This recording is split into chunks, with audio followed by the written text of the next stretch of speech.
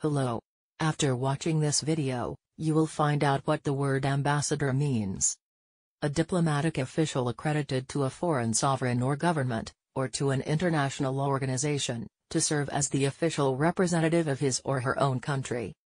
An informal representative, an ambassador of goodwill. A diplomat of the highest rank, accredited as representative from one country to another. An informal representative. Dot.